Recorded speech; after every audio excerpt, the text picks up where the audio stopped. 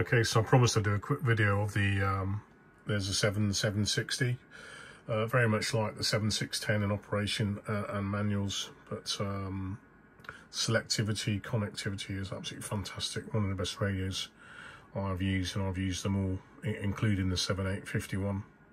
So that's the radio.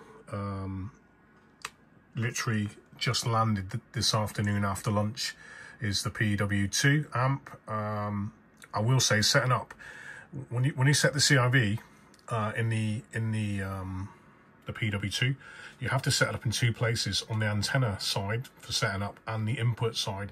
If you don't do both, it won't work with the radio. That threw me a bit, but when I realised what I had to do, I set up the CV in both places. It works straight away. Uh, I can switch the radio on and off. I can band select. I can do everything. I've set up the ALC. So I've just got the radio on FM at the moment on, on 40 so you can see output. And uh, there you go, 1 kW, 1 kW, SWR, no problem. And that's on the long wire. Um, there's the amp there, little icon cap. Um, and there's the 7760. I'm in the downstairs shack and I'm relocating upstairs to a larger room because I need the space. So half of my kit's down here and a bit messy in the corner and half of it is is upstairs. So LDG tuner, not in line. Um, I need switching off actually because it's not in use at the moment. I'm literally using the tuner on the radio, uh, on the amp, sorry, which I don't really need um, because the wire is, is actually tuned on, on 40 uh, and a lot of other bands now quickly showing the menus, but it's a learning curve for me. Um, I go in here.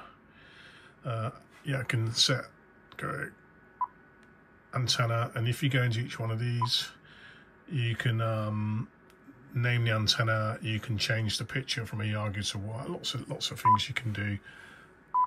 Um, go into the exciter side and again there's loads of things in there you, you can do uh, setting it up once I'd actually got my CV correct uh, was was very easy.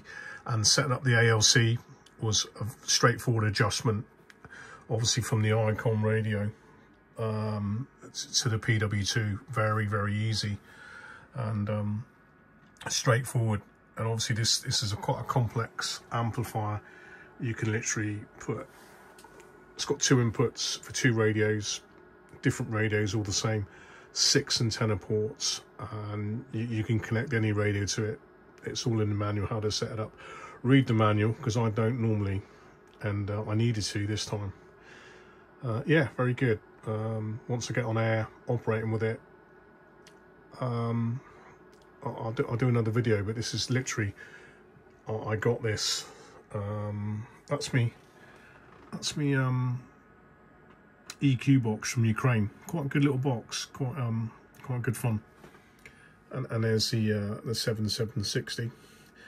Uh, I'll say it's on FM. Go to there you go. But I'll put it on FM so you could see me key up to a kilowatt. So there you go. Um, early days.